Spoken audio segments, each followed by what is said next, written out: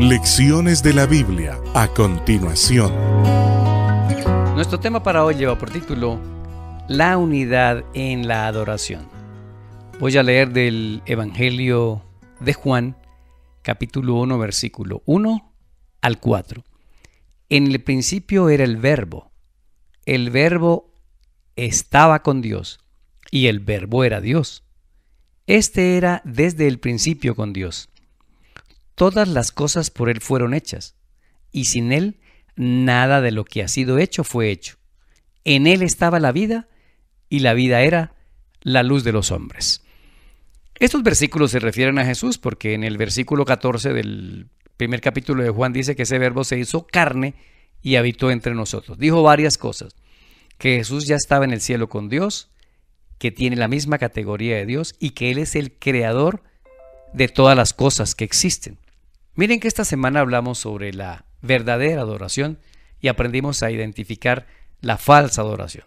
En este versículo, hablando de la venida de Jesús en su primera venida, dice que Él es el creador. Claro, hay un creador que creó allá en Génesis capítulo 1 y capítulo 2, en siete días literales, todo lo que existe. Todo lo creó Él. Ahora, si Él es el creador, debe ser que yo soy un ser creado, entonces yo soy la criatura. El gran problema del ser humano es confundirse. A veces se convierte en el Dios y no en la criatura, porque dejamos de depender de Dios y confiamos en nuestro poder político, nuestro poder económico, nuestra influencia. Comenzamos a confiar tanto en nosotros mismos que ni siquiera tomamos tiempo para leer la Biblia y orar, porque yo tengo poder, no necesito a Dios. Ese es un mensaje subliminal que le doy a Dios cada día en que yo no tomo la Biblia, no oro y no dependo de Él.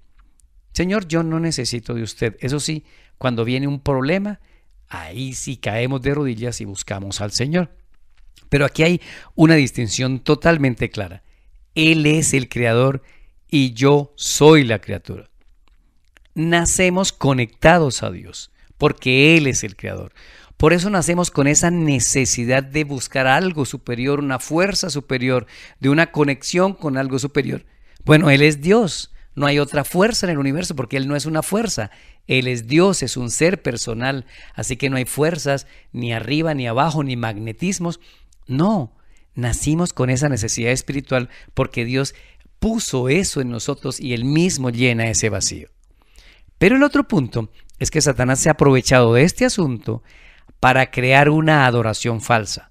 Llena ese vacío espiritual con drogas, con sexo ilícito, con mucho trabajo, con poder económico o con adoración religiosa que una cosa creo y otra cosa vivo. Satanás quiere que lo adoremos a Él. Por eso Él tiene misioneros entre los que hacen todo el cine de Hollywood, de Netflix. Tiene misioneros para su obra en muchos compositores de música, tiene misioneros de él en muchos diseñadores de ropa, en los creadores de comida. Si usted se ha dado cuenta, esta semana nos dimos cuenta que minuto a minuto, a cada momento, diariamente, estamos en un conflicto de adoración. Ese es el conflicto de los siglos. ¿A quién voy a adorar? ¿A quién le voy a dar mi corazón? ¿A Cristo o al diablo? Tenemos nuestro corazón dividido, un pedacito para el diablo, un pedacito para Jesús. Recuerde, Jesús le dijo a la samaritana, yo quiero reunirme con los verdaderos adoradores. No todo el que me dice Señor, Señor, entra en el reino de los cielos. La unidad en la adoración nos va a congregar un día bajo un mismo pastor, bajo un mismo rebaño. Por eso necesitamos ser congruentes entre lo que la palabra del Señor dice y lo que yo quiero obedecer. Porque particularmente hay muchas cosas que Dios las dice y yo las quiero hacer a mi acomodo en lo personal. Que Dios nos ayude a adorar de la manera correcta. Él lo dijo y yo obedezco. Esa es la única adoración al Dios de los cielos. Soy Daniel Herrera y deseo para todos un día lleno de bendiciones.